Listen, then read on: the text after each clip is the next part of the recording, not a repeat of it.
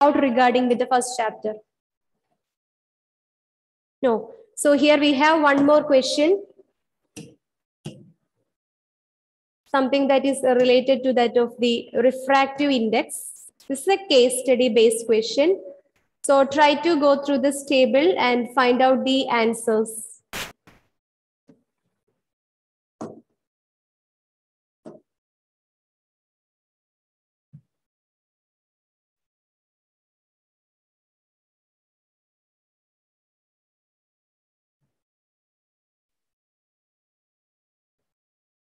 Some material mediums and their respective refractive indexes are given. Air, ice, water, alcohol, kerosene, fused quartz, turpentine, benzene, crown glass, Canada balsam, rock salt, carbon disulfide, dense flint glass, ruby, sapphire, and diamond. Which of the following is correct?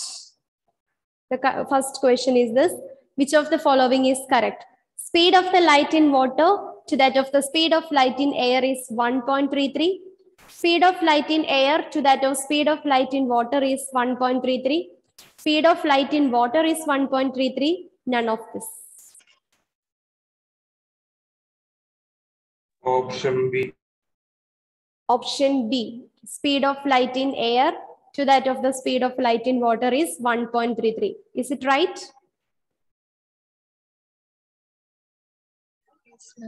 Yes, it is the right answer. We know that the refractive index n is equal to c by nu, where c is the speed of light in air and nu is the speed of light in medium, and the refractive index of the uh, light in air is uh, refractive index of the water. Refractive index of the water is considered as a reference standard. It is 1.33. So it is right. Correct answer. Now the next one. Second question. Which of the following is optically denser than water? Kerosene, air, ice, none of this. Kerosene Kerosene. Why? because refractive index is more Refractive index is more than water. more than water. So if higher the refractive index, what it is indicates? Answer the medium. denser, the medium. Very good. So here we can see the refractive index of kerosene is 1.44.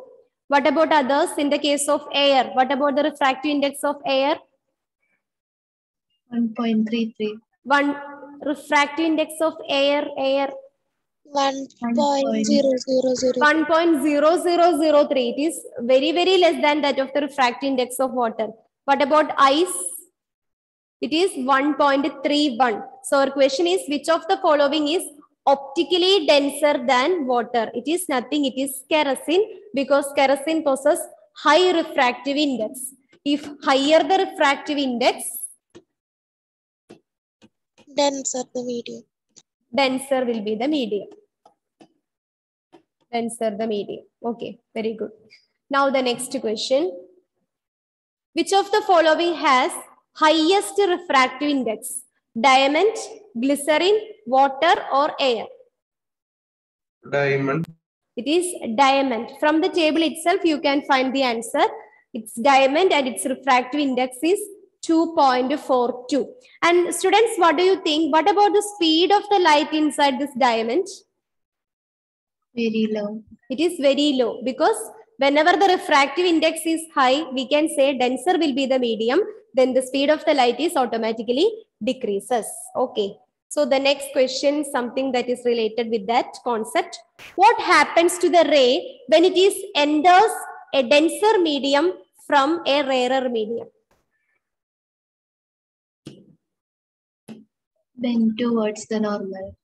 Ray bends towards the normal, ray bends away from the normal. Speed of the light, light ray increases and none of the above. Towards the normal. when it is enters denser medium from a rarer medium. It is bent towards the normal. Very good. When a ray of light is enters from a rarer medium to a denser medium, after the refraction, we know that the ray is bent towards the normal. Okay. The last question, what is the speed of the blue light in crown glass? Speed of the blue light in crown glass.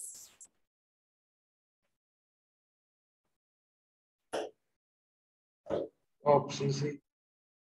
3 into 10 raised to 8 meter per second, 1.97 into 10 raised to 8 meter per second, 4.56 into 10 raised to 8 meter per second, 3.5 into 10 raised to 8 meter per second. I'm option B. Option B. Reason? I'm divide. No, that's wrong. Yeah, what is the equation for calculating the refractive index? Equation for calculating the refractive index.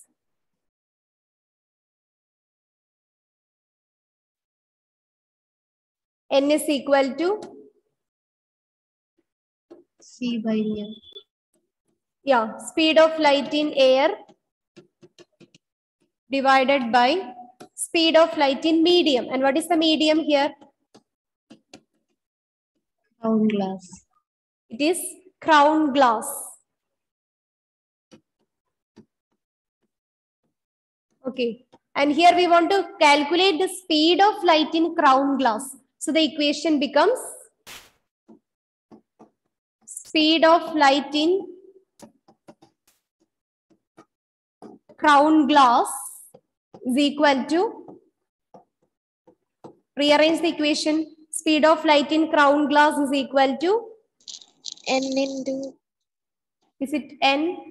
Speed of light in crown glass is going to LHS so it becomes here.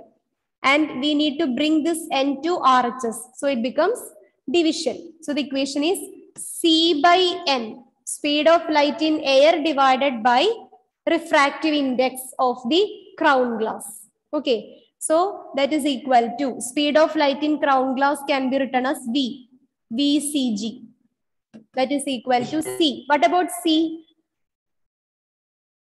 Speed of light in air, it's a constant value. What is its value? 10 raised to 8. 3 into 10 raised to 8 meter per second divided by N, refractive index of crown glass. What about the refractive index of crown glass?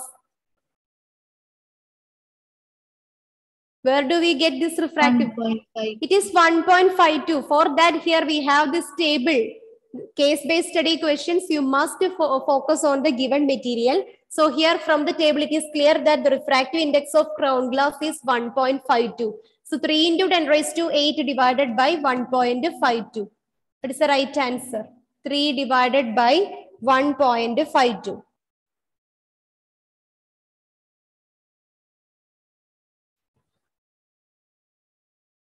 Yes, ma'am. Which is the right Yeah. answer? Option B. Is it option B?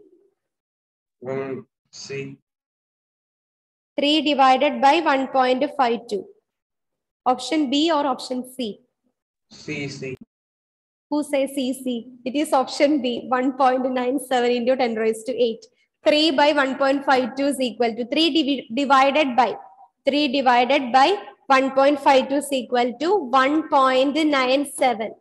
And here we are calculating the speed of the light in crown glass. And what about the SI unit of speed? SI unit of speed is? No answer. Meter per second. Meter per second. meter per second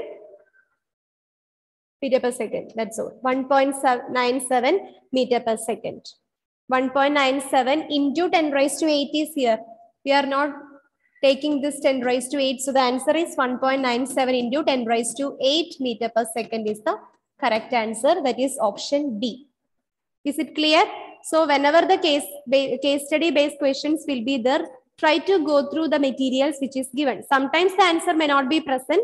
We need to correlate the things that what is we are already discussed in the class. Okay. And here we have Blue light. When blue light is asked, we can just take refractive index of light. Ah, yes. light. uh, uh, the, whenever if, if it is a whether it is a red light, blue light, uh, yellow light, any color of light, the speed of light in air is a constant. Its value is 3 into 10 raised to 8 meter per second. That is why we take the same value here.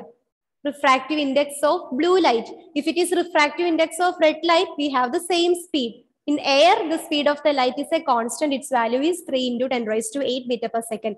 We know that the white light is comprised of seven colors. And these seven colors are travels through the same velocity through the air. In the air, there is no difference in their velocity. It is 3 into 10 raised to 8 meter per second. It is a constant value. Is it clear? Yes, ma'am. Yes, ma'am. So that's all about this chapter, light reflection and refraction. Uh, and here, did we discuss all these assertion questions in the last class? No, ma'am. No. We are not uh, discussing nothing? No. Okay, okay. Then try to go through the assertion.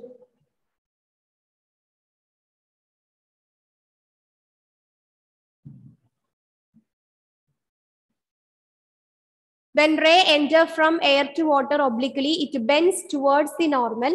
It is because water is denser medium than air. I think we are already discussed here.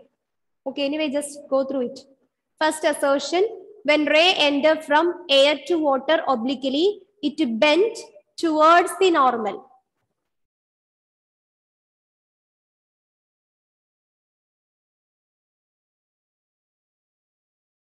When a ray of light is enter from air to water, it bends towards the normal. Is it correct or incorrect? Air to water.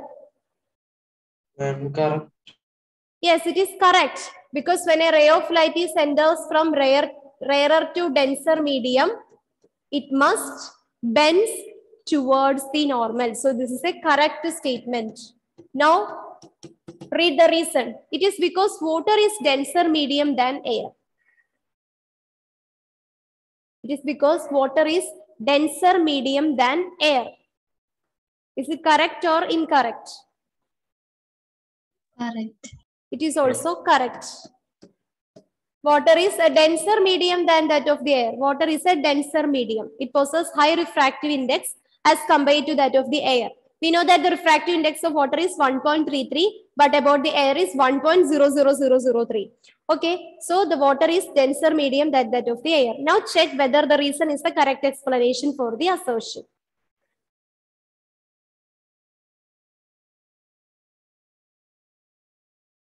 Does the reason is the correct explanation for the assertion or not? The correct explanation. Reason is the correct explanation for the assertion. Okay. Now go through the next assertion. Ray of light incident obliquely at same angle would the most in glycerin out of water, mustard oil, glycerin and kerosene. I think we have discussed these assertion and reason questions in the last class, right?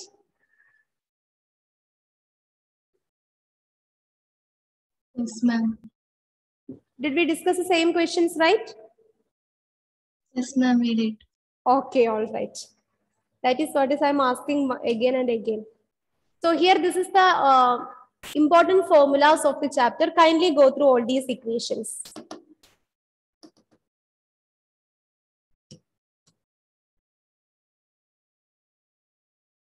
Please kindly go through all these equations. And air and vacuum is same only. Ah, yes, air and vacuum, most of the are same. It's an empty space. By the uh, term vacuum, we are uh, indicates it's an empty space. So speed of light also will be same. Ah, yes, speed of light will be the same. In vacuum, the speed of the light is 3 into 10 raised to 8 meter per second because it's an empty space. No medium are there in between their propagation. Okay, and uh, one more correction is there. I will give you, I, I think it is better time to correct. Here I will give you one question like this. A box is placed with the side A, B. Here we have the box. And some ray of light is coming like that. One, two, three, four, five, six. Enough. Okay, they are numbered as one, two, three, four, five, six. And these uh, light rays are allowed to pass through this box. After that, after some times, should be like this.